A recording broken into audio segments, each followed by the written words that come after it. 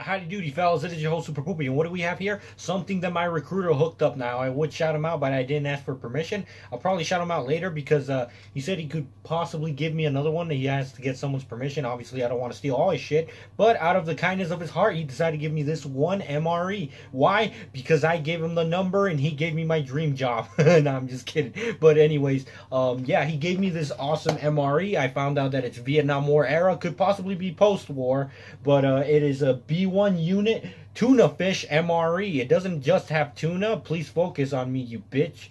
We have problems with the camera. God, I look like Darth Sidious. I've been wearing a hat and working outside all day. But anyways, we're going to take a close look at this MRE or Meal Combat Individual. It just sounds kind of funny, but that's it's a meal. It's an MRE. So let's look.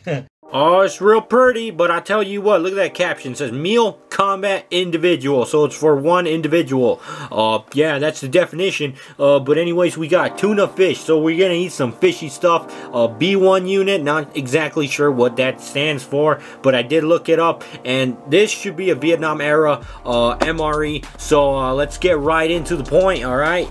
Oh, look, very lovely. As you can see, we got a spoon right here, pretty durable, made out of plastic. Oh, that's washable.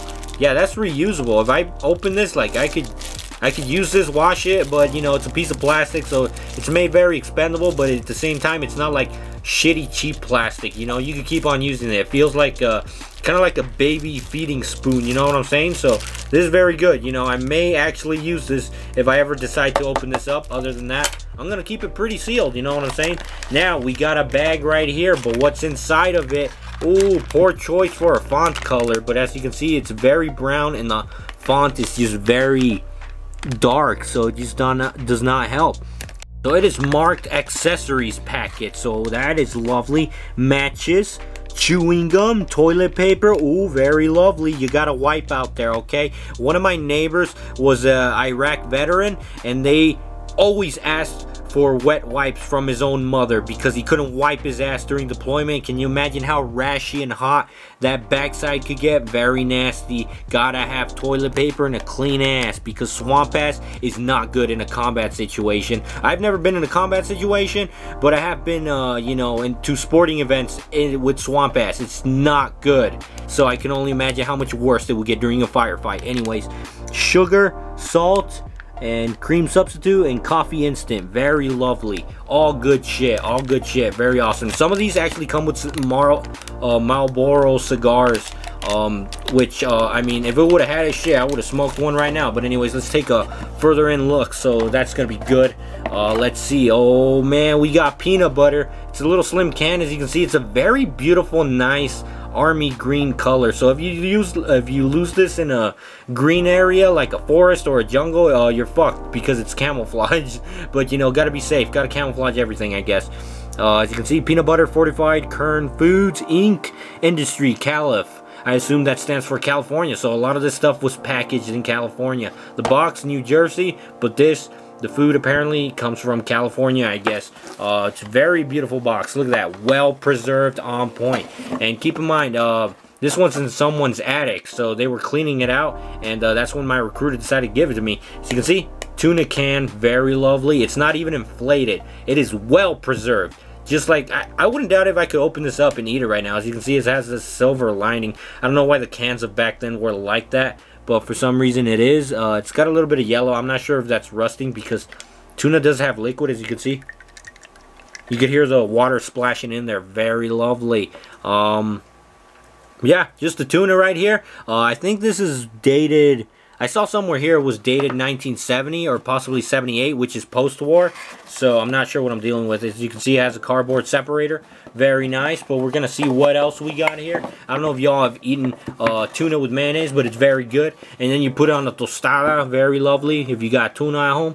Uh, quartered pears, California uh, canners and growers. So they grow and uh, can it up. So that's very lovely in San Francisco, California.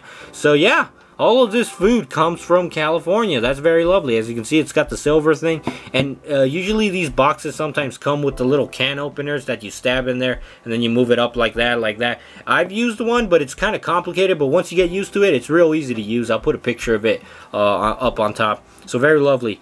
Quartered pears. I don't know if this is still good to eat, but I'm going to keep all of this well preserved and use it as props for when I get a Vietnam kit going. So uh, let's look at the last can here. B1 unit, crackers. Don't get offended, white boys. I'm just kidding. but yeah, uh, crackers, uh, candy, southern, packaging and storage. I feel it's kind of weird that you can just make fun of white people and like no one will care but but the other ones are special. No i'm just kidding but yeah. Let's not get too edgy here. We might get in trouble but yeah that might stand for the year. I'm not sure if that's the year and this is possibly a month 1978 maybe? I'm not too sure but i wouldn't doubt if they used these uh, vietnam war style uh, mres uh, after the war or whatnot but as you can see Still has the crackers in there. They're probably stupid rancid and smell like plastic. I don't know if you smelled old, old food. But yeah, I think that's about it. But yeah, that's everything. Peanut butter, tuna, crackers, and quartered pears, and the good shit in here. You got matches without the cigars, so that, that kind of sucks. You know, every now and then you want to smoke a fat one, you know what I'm saying? But, uh, yeah, it is very lovely. Uh, we may get another one, and I may end up just combining this video with another one and just open up a bunch of MREs in one whole video. Uh, but I hope you guys liked it. Like and subscribe. Mucho love. Take care. And uh, let me know what else you want to see, what other stuff, or hell, if you want to see some cooking techniques of uh, back then in the military or whatnot because you know canned food wasn't always a thing or uh, MREs that never go bad you know what I'm saying? But anyways like and subscribe much love. Take care. I'm heading out now. Love y'all